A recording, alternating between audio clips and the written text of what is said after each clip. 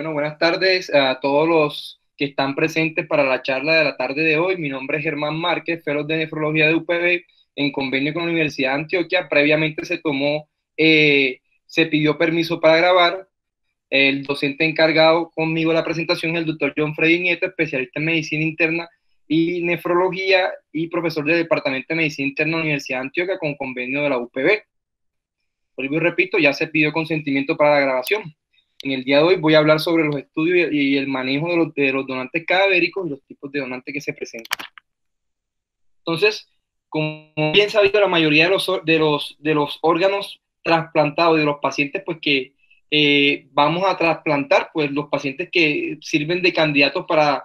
eh, para ser donantes, pues la mayoría pasa por una unidad de cuidados intensivos. Y estos pacientes para poder ser candidatos deben tener ciertos factores, cumplir ciertas eh, digamos, cierta regla para determinar que tienen una muerte neurológica o una muerte cerebral.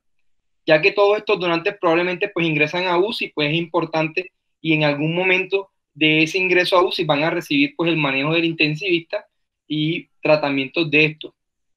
Ya que después de una lesión catastrófica, con, digamos, la determinación ya de la, eh, digamos, de ya el deceso o el daño neurológico extenso, el intensivista debe cambiar, pues, digamos, su enfoque, ya no optimizando, pues, el manejo del paciente para, digamos, tratar una patología, sino más bien para poder optimizar la perfusión del cerebro y así poder mantener una estabilidad hemodinámica y poder preservar la mayor cantidad de órganos y a la vez, pues, obviamente, pues,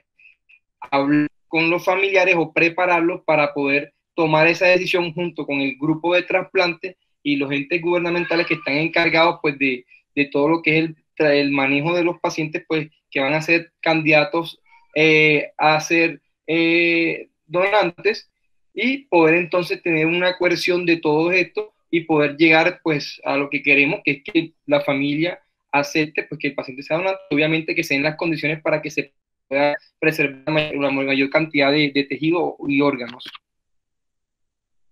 Entonces, eh, la revisión que hice, pues la hice de esta guía que fue publicada en Critical Care de, en el 2015. Eh, lo que hicieron esta guía fue tratar de llegar a un consenso, ya que eh, era muy difícil de pronto tratar de cuadrar todo el equipo, tanto el grupo de trasplante como los grupos de cuidado intensivo, poder llegar a criterios óptimos y que fueran objetivos para poder preservar la mayor cantidad de órganos. Y entonces, pues, lo que hicieron fue unirse lo que es el, la gestión de lo que son las sociedades científicas o de cuidados críticos, el Colegio Americano pues, de, de Médicos de Toras, y declararon pues un consenso para poder tener un manejo de este paciente pues que iba a ser candidato a, a, a ser eh, donador de órganos. Entonces, eh, como tal, hay dos conjuntos de criterios para determinar la muerte. Eh, y el primero es el conjunto de criterios circulatorio y respiratorio, en el que el paciente ha perdido pues, permanentemente la circulación y la respiración y además pues la capacidad de respuesta. Y el segundo es el conjunto de criterios neurológicos en el que el paciente tiene pues un cese irreversible de las funciones de cerebro completas y, y del tronco encefálico. Además de eso, los criterios neurológicos requieren pues una, una, función cerebral total ausente, permanente y que se puede evaluar clínicamente como una ausencia de la respuesta o de la función cortical y de los reflejos del tronco encefálico. Entonces, para todo esto, pues eh, hay que tener un grupo preparado para poder hacer evaluaciones correctas de estos pacientes y poder tener la determinación que este paciente pues está en muerte cerebral. Si no se llega a este, a este diagnóstico, no se podría proceder entonces a hablar con los familiares y mucho menos pues a tomar eh, los órganos de este paciente. Entonces, en 1995, pues el, Subcomité de Estándares de Calidad de la Academia Americana de Neurología creó estándares, valga la redundancia, médicos para determinar la, determinar la muerte utilizando criterios neurológicos que incluían pues métodos en los cuales utilizábamos exámenes como lo era la angiografía cerebral, el electroencefalograma, una ecografía Doppler transcraniana y una gamografía cerebral, cerebral. Todo esto para poder verificar, junto con el examen clínico, y que se cumplían todos los requisitos para poder llegar pues, al diagnóstico de muerte cerebral. Eh, esto pues principalmente pues una, una checklist que también hicieron ellos, no sé, no se ve muy bien, pero la idea es que estos pacientes deben tener todos estos requisitos previamente llenados para poder determinar junto con la evaluación de los exámenes complementarios de que el paciente cumple todos los criterios para poder decir que es, tiene, una, tiene muerte cerebral. Y entre eso, pues también está los exámenes como el test de apnea, que dependiendo, pues obviamente tienen que tener una correcta interpretación y realización, y por eso el papel del intensivista, que es pues quien en estos momentos sabe más en cuanto a la interpretación y la realización de este, eh, juega un papel importante. Lo,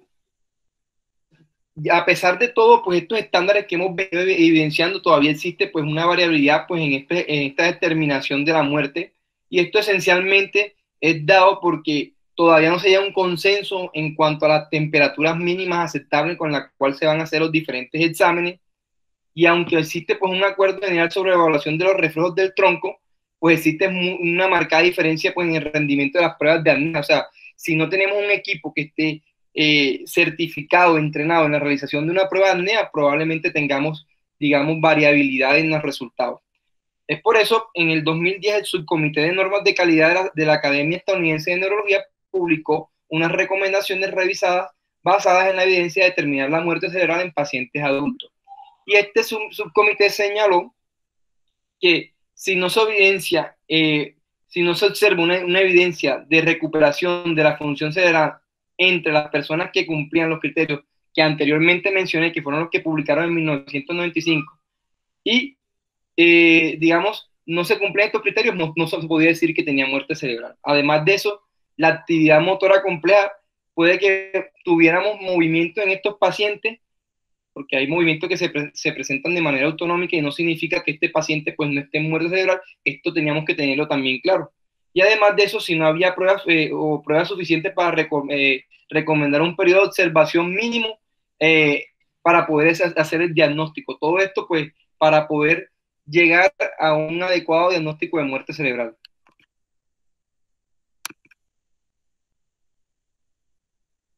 Y es entonces en donde, en donde entra un papel importante la donación después de la determinación de la, de la muerte por circulación o la circulación de la muerte, como lo dice su sigla, el DCDD, que eh, se ha utilizado pues ampliamente para el trasplante renal y para el trasplante de otros órganos. Algunos estudios sugieren que los riñones que son, digamos, rescatados eh, de donantes que son eh, que son que después de la determinación de la circulación, de la muerte pues, de, posterior a la circulación, están asociados con una tasa significativa muy, más alta de función diferida del injerto. O sea, estos pacientes pues, les va mucho mejor en contacto con los pacientes que son determinados por la parte neurológica o la muerte neurológica. Y además de eso, cuando se produce una función diferida del injerto, esos resultados a largo plazo parecen similares eh, en los receptores pues, de, los de los pacientes que son determinados eh, por, la circulación, eh, por la muerte de circulación. Es importante destacar que la supervivencia del injerto a largo plazo de los riñones parece ser similar en los riñones en los cuales los pacientes pues son determinados ya sea por la parte circulatoria o por la parte neurológica y que la, la, prevención de la falla temprana del injerto está relacionado con los tiempos de isquemia tanto calientes como fríos, no tanto como el método como el cual pues hayamos hecho el diagnóstico de la muerte cerebral.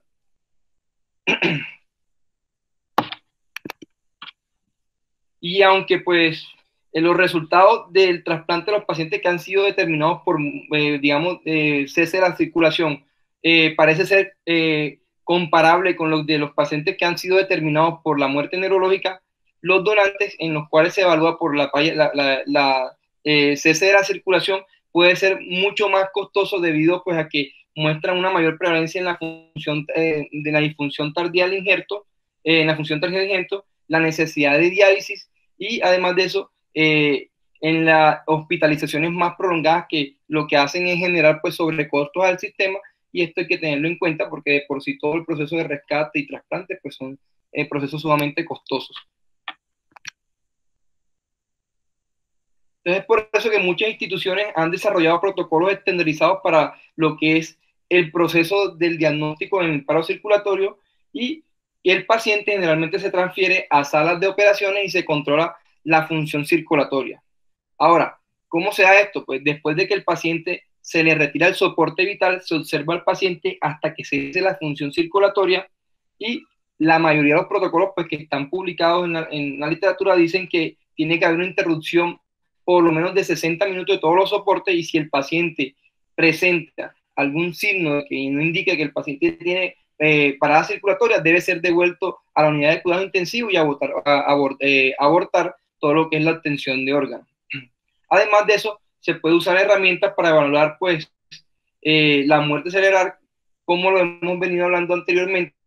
como son el Doppler y, la, y las otras herramientas que mencioné para poder determinar y poder llegar a lo que es el diagnóstico correcto de la muerte cerebral.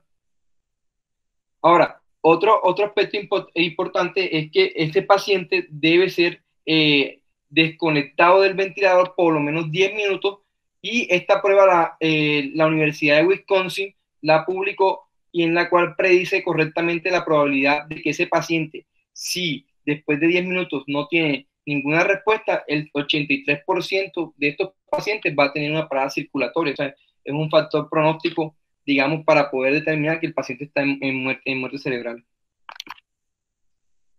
Este es eh, los criterios del comité de consenso eh, de la red unidad de compartida, en los cuales, pues, como hablamos, dentro de los 60 minutos posterior a retirar el tratamiento de soporte, debe cumplir con estos parámetros para poder llegar a decir si el paciente eh, probablemente va a tener una buena respuesta en cuanto a la parada circulatoria. Entonces dice si tiene, dependiendo de si tiene uno o dos o tres criterios, va a tener una probabilidad de que la prueba sea positiva de un 29 a un 82%. Y si no tiene ninguno de estos, de estos parámetros, el paciente debe ser, eh, digamos, devuelto a la unidad de cuidado intensivo y abortar pues la toma de los órganos. Ahora, ¿cuál es el papel de, digamos, la oxigenación extracorpórea o ESMO, como dice sus siglas, en lo que es la parada circulatoria? Sabemos pues que no en todos los sitios donde se hacen rescates pues tienen ESMO. Eh, en Medellín contamos con ESMO en muchas instituciones y es una terapia pues que eh, digamos que a pesar de que no se ha hecho grandes ensayos clínicos, sí se ha visto que dependiendo de lo que querramos, si vamos a hacer rescate de órganos torácicos o, u órganos abdominales, puede ayudarnos a preservar mucho más el flujo efectivo a esos órganos y poder mejorar un poco lo que es la obtención y la supervivencia de estos órganos. Es por eso que el tiempo isquemia caliente antes de la instalación de la perfusión fría parece tener un papel muy importante en la función eh, posterior de ese órgano trasplantar. Y lo que los diferentes estudios han hecho o, la literatura lo que muestra es que esos pacientes en los cuales pues queremos eh, salvar órganos intraabdominales, lo que hacemos es clampear eh, o hacer una oclusión de la arteria aorta, aorta, a nivel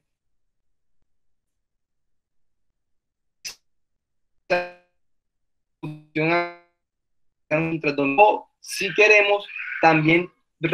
a nivel torácico, pues no se hace dicho clampeaje. Esto ha tenido cierta controversia, ya que al nosotros clampear la, la, la aorta torácica, pues estamos disminuyendo la circulación cerebral y pues obviamente estamos eh, acortando las posibilidades de que ese paciente pues esté en muerte cerebral. Y además, a pesar de los beneficios, como dije anteriormente, pues no hay ensayos grandes comparativos entre pacientes que hayan utilizado ESMO y los que no hayan utilizado, y la sobrevida pues, de, los, de, de los órganos. Entonces son ciertas limitaciones que tenemos, pero no deja de ser una terapia que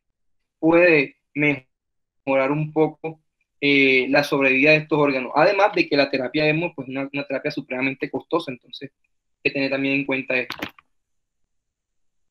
Ahora, en cuanto al manejo de lo que es la autorización eh, o del consentimiento, pues que dan los pacientes o los familiares en cuanto a si quieren o no que su familiar eh, sea candidato para, eh, para, que, para hacer rescate de órganos, se, se han considerado dos características que, eh, digamos, inciden pues, en esa respuesta positiva. Esas dos características son, primero, que los familiares mm, expresan una comprensión incierta del deseo posible del donante. Esto es traducido de que si el paciente en vida pues no manifestó que quería ser eh, donante, eh, esa familia pues probablemente tendrá cierta limitación al poder dar esa respuesta. A pesar de que en Colombia ya hay una legislación que dice que todo paciente que no haya manifestado en vida su deseo de no ser donante se presume que va a ser donante. En la práctica, pues los grupos de trasplantes se han encontrado todavía con mucha desinformación y obviamente con todo lo que abunda de, digamos, la información errónea que tiene el público en, que los, pues, piensan que nosotros no, nos lucramos de, de, los trasplantes y que pues, se pueden vender los órganos, todo eso que son mitos pues, que circulan. Y otro otro aspecto que hay que tener en cuenta es que los estudios demostraron que las familias que son descendientes de afroamericanos, en la literatura no especificaban exactamente por qué, eh, decían que tenían menos, pues, tenían menos eh, probabilidad de que dieran una respuesta positiva. Y esto, pues, según decían, era por diferencias raciales y probablemente por una desconfianza del, del sistema de salud, pues bastante ya precario estamos y, la gente ha perdido mucho la confianza en el sistema. Y además de eso, en, digamos que los grupos de trasplantes no se tomaban el trabajo de poder y, orientar de manera adecuada a este tipo de pacientes para poder llegar entonces a una respuesta favorable a lo que era la obtención de órganos. Además, eh, algo que influía también era importante era el momento en el cual pues íbamos a solicitar la autorización de esos pacientes. Eh, y lo que ellos recomendaban también era quién, tenía eh, quién era el que debía hacerlo. O lo primero que teníamos que hacer era pues dar una, una notificación oportuna, pues decían que la, en el documento dice que la OMS dice que una notificación oportuna es cuando en la primera hora donde se cumplen todos los requisitos que hemos hablado anteriormente, se le avisa a los familiares que su paciente ya no tiene una respuesta favorable y que probablemente va a fallecer en las próximas horas y que eh, cumple los criterios para poder ser eh, un donador. Ahora,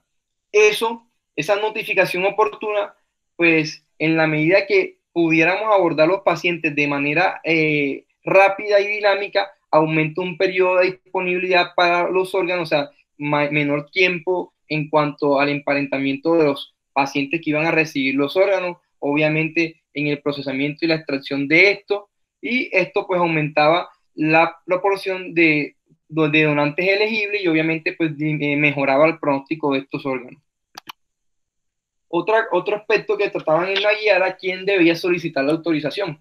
Principalmente, pues la guía decía que eh, para eso se habían creado los grupos de trasplantes y la red de trasplantes a nivel nacional, que eran grupos especializados en abordar estos tipos de pacientes y a sus familiares para poder llegar a, esa, eh, digamos, a esa respuesta favorable. Pero que si en la institución donde eh, estaba el, el, paciente que iba a ser eh, donante, había gente que pudiera ser empática y que pudiera tener conocimiento, pues podían también abordar este, a estos familiares y poder llegar también a una, una decisión favorable.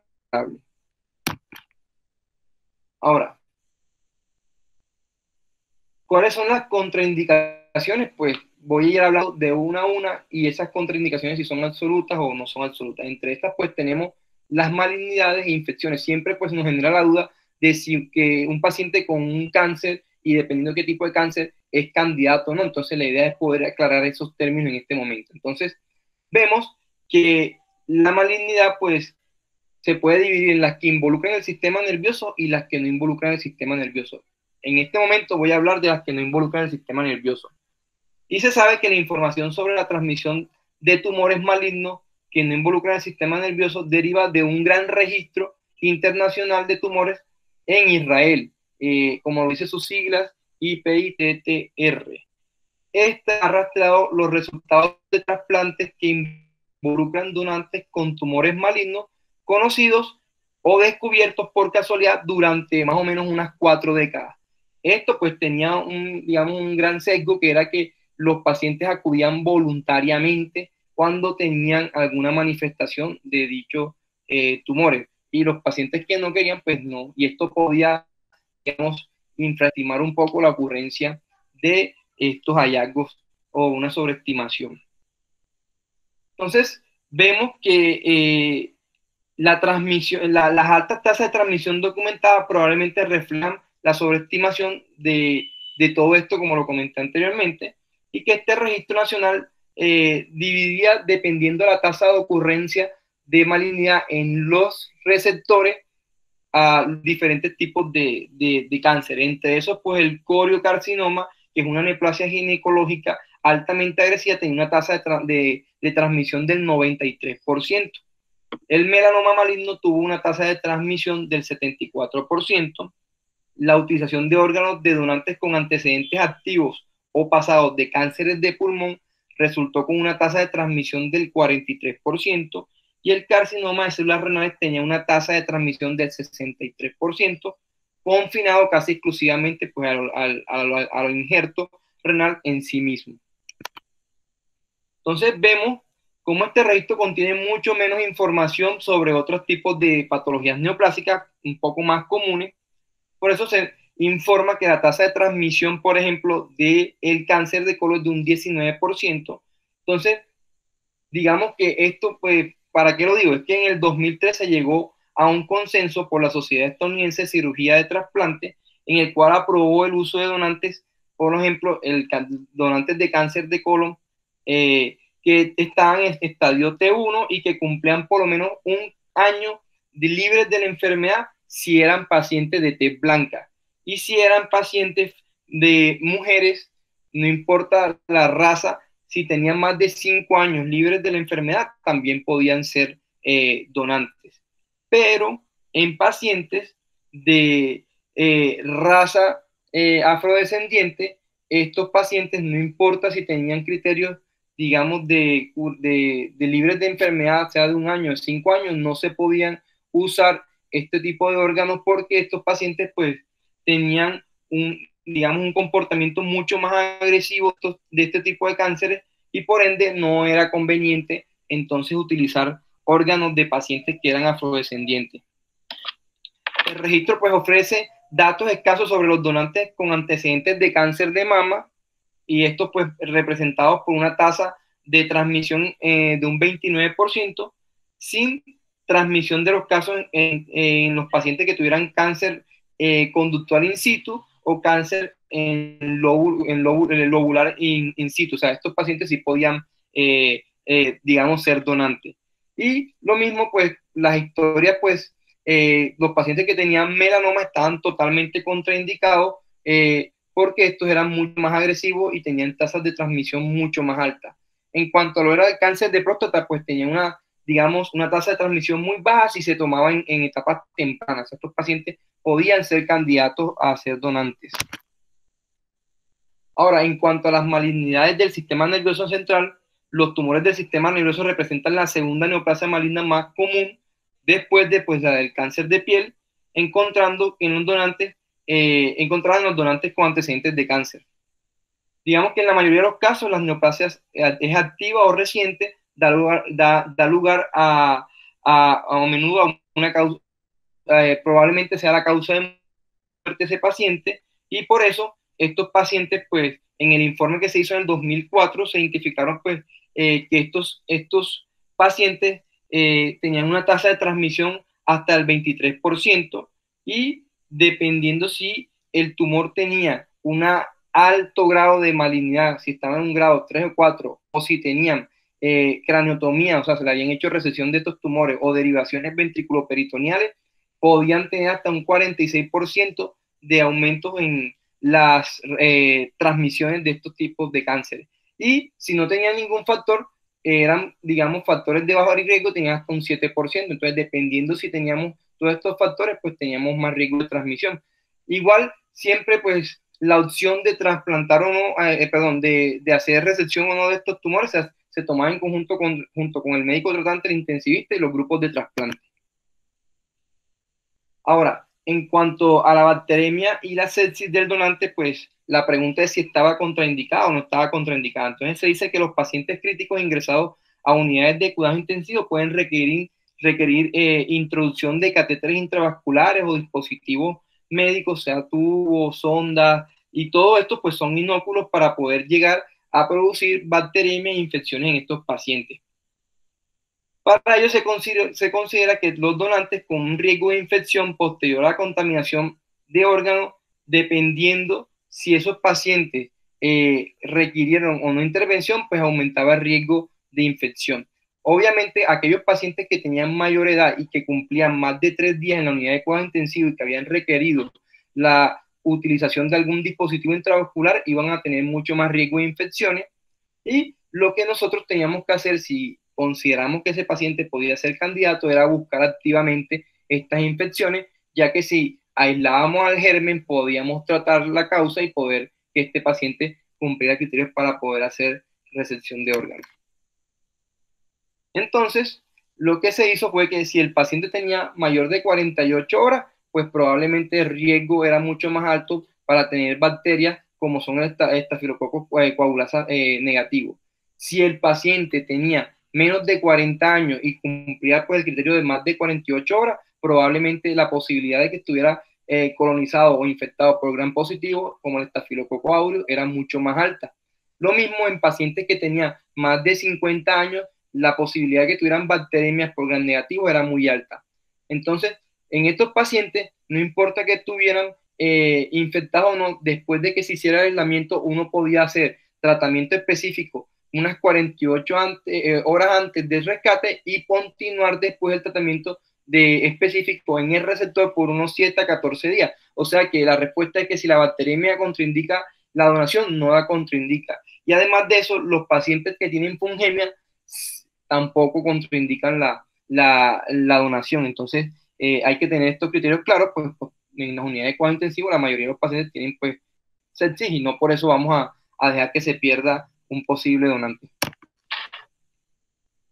Ahora, ¿puede un paciente con meningitis donar? Que es otra de las preguntas que de pronto debemos responder. Vemos que los principales patógenos asociados a las meningitis son las Neisseria meningitis, los neumococos y los hemófilos de influenza.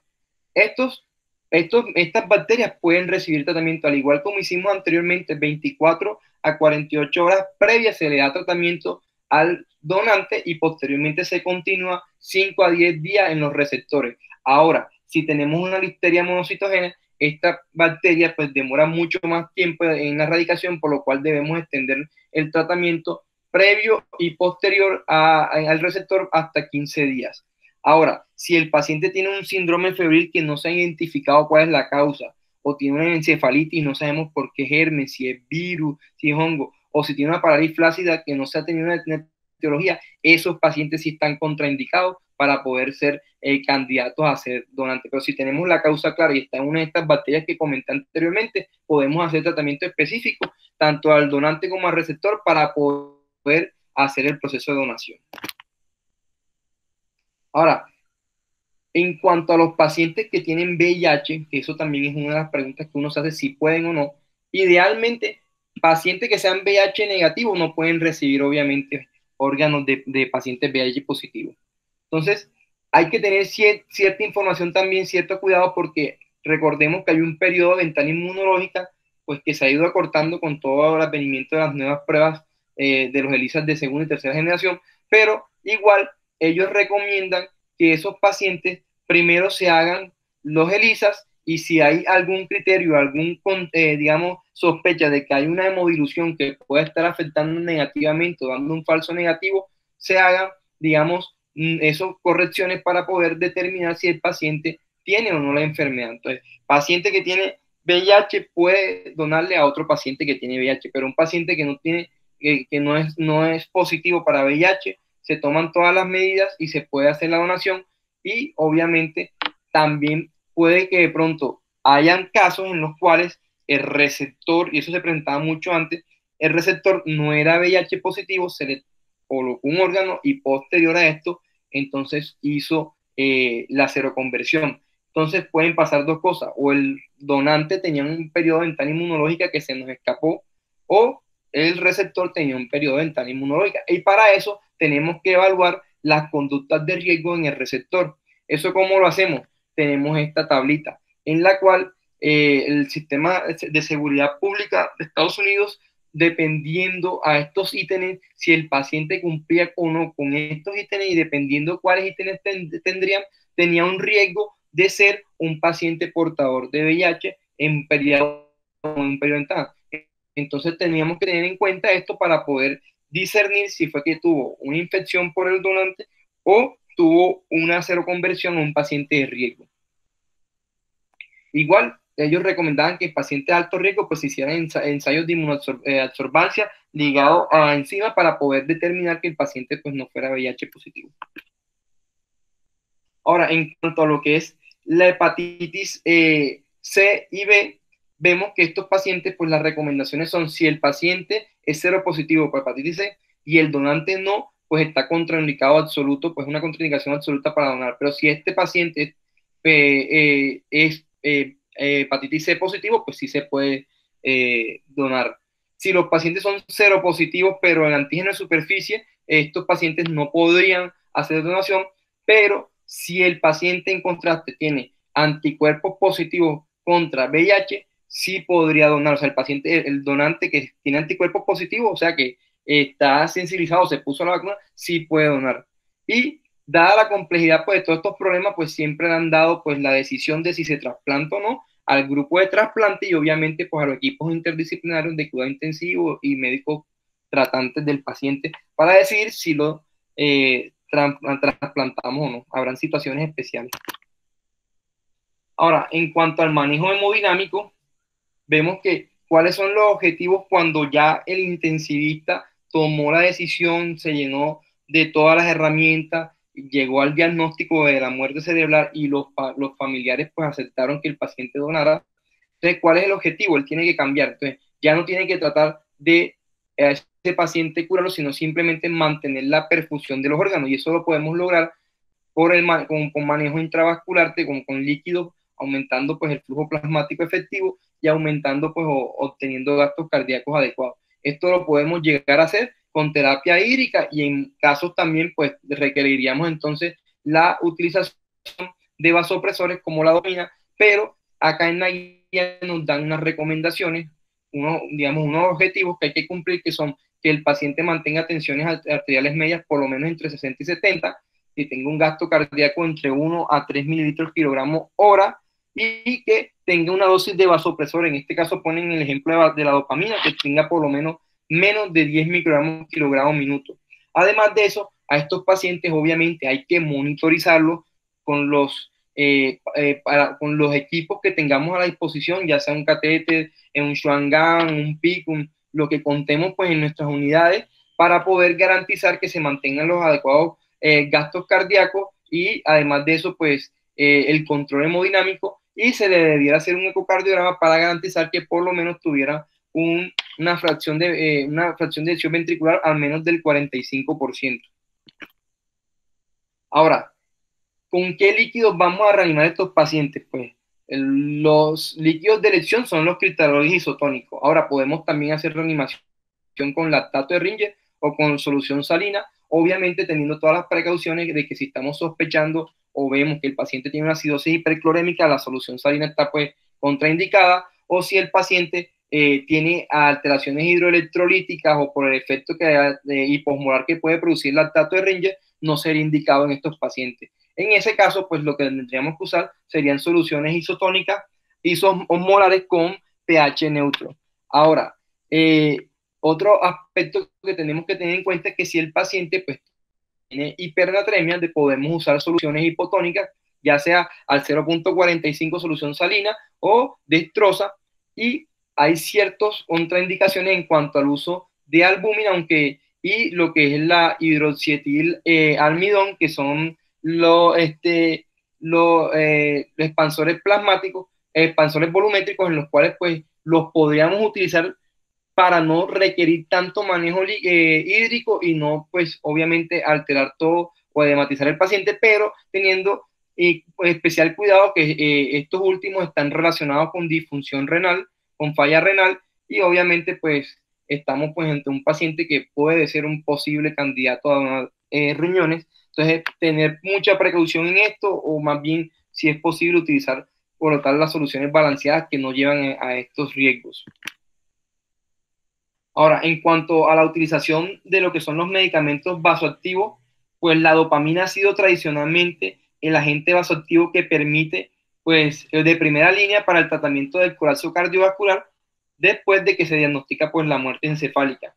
Y existen datos suficientes, pues, de que este agente puede ser utilizado. Además de eso, también podemos usar infusión de vasopresina, que es un agente alternativo de primera línea también que puede, eh, digamos, eh, servir para en casos de shock refractario y además de eso para eh, disminuir la utilización de catecolamina. Además de eso podemos también utilizar norepinefrina teniendo en cuenta obviamente que como son vasoconstrictores potentes, esto también nos pueden llevar a una disminución del flujo plasmático, pues, por ejemplo, a nivel renal y pues lesionarnos al órgano y empeorar, digamos, su pronóstico posterior al trasplante. Y eh, digamos, si no se cumplen los objetivos hemodinámicos o la fracción de eyección del ventrículo por encima del 45%, eh, se podrían utilizar, digamos, o tener en cuenta si estos pacientes se beneficiarían de, los, de, los, de las terapias de reemplazo hormonal, como veremos más adelante. Ahora, eh, ¿cómo se debe tratar la deficiencia de la hormona antidiurética en estos pacientes? Pues sabemos que el agente farmacológico para el tratamiento de la ADH viene siendo pues la vasopresina. Eh, esta vasopresina pues se considera eh, que se debe utilizar cuando el paciente no responde a volumen y está eh, hipotenso y sospechamos que es una hipotensión neurogénica persistente a pesar de que hayamos hecho una reanimación exhaustiva y correcta con líquido. hay que tener en cuenta que la vasopresina pues es un medicamento que actúa a nivel, se actúa a nivel de diferentes receptores acoplados a proteína G eh, y que dependiendo de qué receptores tenemos estimulando, por ejemplo, si es un receptor B1 que está a nivel del músculo liso, pues media un efecto vasopresor y induce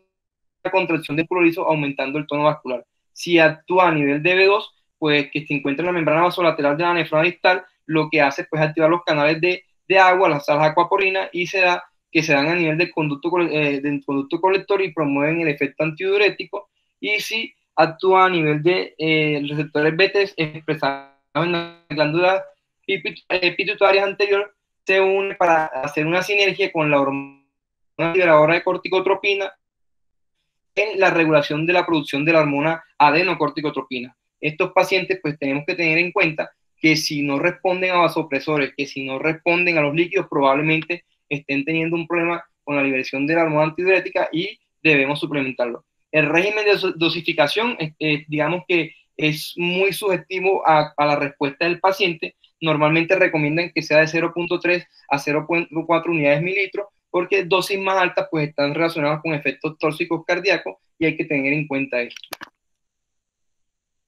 Otro medicamento que podemos utilizar es la desmopresina, que es un análogo de la vasopresina, con mucha mayor afinidad para los receptores B2 y muy poca afinidad para los receptores B1. O sea, él lo que produce es mayor vasoconstricción, eh, perdón, mayor eh, efecto antidiurético, pero una, una vasoconstricción, digamos, digamos, mínima. Este fármaco es de elección para el tratamiento de la diabetes insípida sin hipotensión asociada y se usa para controlar la producción de orina y alcanzar un sodio sérico normal. Las dosis pues, recomendadas serían de 1 a 4 microgramos IV y deberíamos estar pendientes de la osmolaridad urinaria, el volumen urinario y las concentraciones de sodio que tienden a aumentar. Si vemos que el paciente eh, está haciendo retención urina, eh,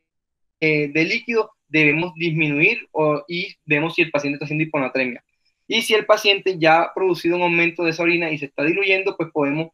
aumentar una dosis adicional. Ellos recomiendan que sea de 1 a 2 cada 6 horas hasta que el paciente pues recupere el volumen de, que, dijimos anteriormente que era 1 a 3 mililitros por kilogramo hora.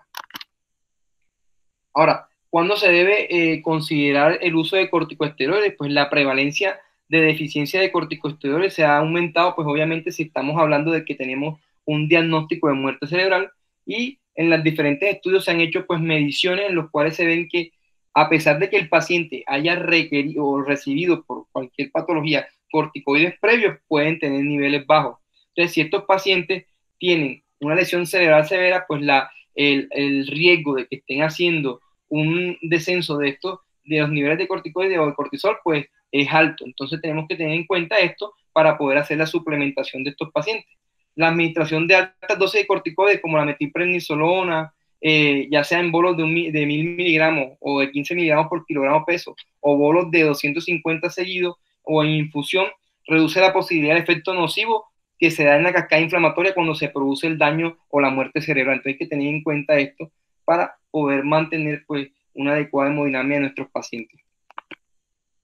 Ahora, ¿cuándo se debe considerar eh, el reemplazo de hormonas tiroideas? Pues los estudios han demostrado que la deficiencia cuando se produce un daño a nivel pituitario de, los, de, de las hormonas tiroideas se presenta. Ahora, esto es dependiendo a los niveles pues, que estemos midiendo, aunque pueden haber pacientes que estén eutiroideo y estén haciendo eh, alteraciones, digamos, a nivel cardiovascular, que es el principal, eh, digamos, órgano que se afecta cuando hay una disminución, ya sea T4 o T3, y por ende, si estos pacientes tienen disminución del gasto cardíaco, hipotensión, y estamos sospechando que pueda ser que está haciendo un trastorno a nivel tiroideo, deberíamos suplementarlo, ya sea con T3 o, con T4. Y la recomendación que dan ellos es que la terapia de reemplazo de, eh, de tiroides, ya sea sola o en, o en combinación con terapias hormonales como la de la hormona antidiurética o, o corticoides o insulina, porque los pacientes también pueden hacer hiperglicemia o hipolicemia, debe considerarse en los pacientes que son hemodinámicamente inestables a pesar de que hayamos utilizado vasopresores a dosis adecuada y una adecuada reanimación hídrica. Ahora, el reemplazo, pues, como les dije, se puede administrar ya sea con T3 o T4, igual la 3, 3, eh, eh, la T4 se convierte en T3 y esta obviamente es mucho más activa biológicamente, por ende podemos tratarla con, una o con la otra o con las dos. Las dosis recomendadas, según el protocolo pues, que decía el artículo, era que podía ser T4 y B en bolos de 20 microgramos seguido de una infusión de 10 microgramos hora o administrar T3 y B en bolos de a 4, 4 microgramos seguido con infusiones de 3 microgramos. En cuanto a si se debe tratar, a tratar hiperglucemia, claro que se debe tratar, obviamente estos pacientes hiperglucémicos pues tienen alteraciones eh, que deberíamos mantenerlo a nivel, eh, la, glicemia en rangos normales y además de eso, pues el uso rutinario de infusiones IV que contengan destroza puede ser evitada si el paciente está haciendo hiperglicemia. O sea, la recomendación es tener nuestro paciente lo más controlado posible. En consideraciones especiales, pues cuando hablamos del, de donantes cardíacos, es aceptable, eh, digamos, ampliar la edad de estos pacientes a 55 años, ya que se podría considerar que estos donantes más allá de esta edad pues, pueden ser considerados en un aumento de la mortalidad del receptor si estos pacientes son si el receptor es, mayor, si es mayor, si el donante es mayor de 55 años. Ahora, si este paciente tiene hipertrofia ventricular izquierda del donante y el grosor está por debajo de 1.4 centímetros de, la pared, de, del grosor de la pared, eh, ese paciente podría ser eh, candidato a ser donador. Y si los donantes experimentan un paro cardíaco eh, evidenciado pues, por el equipo de reanimación y que no supera los 20 minutos con una reanimación exitosa, también puede ser candidato a donación cardíaca. Si el receptor es tiene una hipertensión pulmonar significativa, debe evitarse pues, que el corazón pues, que tenga un índice pues, cardíaco mayor de 80% y este paciente pues deberíamos, no, no debería ser eh, eh, considerado que sea candidato para donar. Ahora, también este, debemos considerar que faltan datos sobre pues, el uso de corazones con trauma torácico, ya que eh, medir el aturdimiento y la lesión en estos pacientes es muy complejo. Seis en punto. Podríamos estar colocando un, un corazón afectado a un paciente y obviamente con pronóstico y mortalidad muy alta.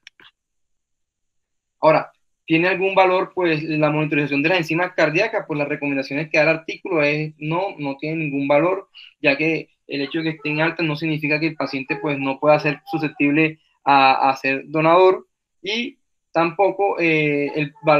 la, la, medición del péptido auricular natriurético no se puede, o sea, no se recomienda el uso pues rutinario. En cuanto al donante riñón, pues hay ciertos criterios de selección único con respecto al donante riñón eh, y mm, las guías recomiendan pues que se hagan índices de riesgo de donante de riñón para poder, digamos, proporcionar una puntuación de riesgo relativo de pérdida del injerto y así poderle ofrecer a nuestro paciente la expectativa de 10 y riñón para que él pueda tomar la decisión de si quiere o no participar en este trasplante o si esperará que venga de pronto un riñón con una mayor, un mayor puntaje. No sé si nosotros acá pues utilicemos esos puntajes, todavía no he llegado a ese punto de mi conocimiento, pero eh, sería de mucha ventaja saber eh, si ese riñoncito va a ser viable. Ahora, eh, la recomendación para muchos donantes que no cumplen con criterios de selección es tener obviamente la valoración adecuada con el equipo de trasplante para poder determinar si ese paciente se beneficia o no de ese, de ese riñoncito. Ahora, ¿cuál es el papel de la biopsia en, lo que es eh, eh, una biopsia realizada en pacientes que vayan a ser donantes? Pues no es tan indicada de manera rutinaria, pues eh, la única indicación que podría tener es si de pronto queremos evaluar o sospechamos que ese posible donante tenga alguna glomerulosclerosis alguna fibrosis intersticial o cambios vasculares que puedan obviamente que al momento de trasplantar ese órgano vayan a hacernos resultados adversos en el paciente trasplantado y que vaya a disminuir la sobrevida de ese riñón. Eh, como tal, con los biomarcadores que utilizamos normalmente como la creatinina, eh, podemos hacer seguimiento y eh, digamos que la biopsia debe considerarse en la evaluación, pues cuando tenemos criterios extendidos en pacientes o en, donantes, pues podríamos considerar hacer la, la biopsia. Bueno, gracias por su atención, espero que haya sido de su agrado.